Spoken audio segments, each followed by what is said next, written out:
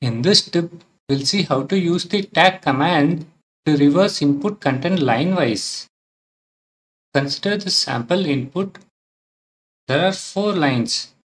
The aim is to reverse this content line-wise. So the fourth line should become the first line, third line should become second line and so on.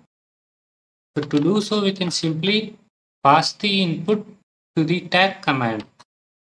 By default, the new line character is considered as the line separator.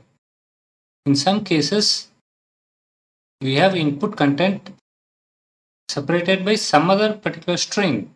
So in such cases, we can use the hyphen s option. Let us see an example.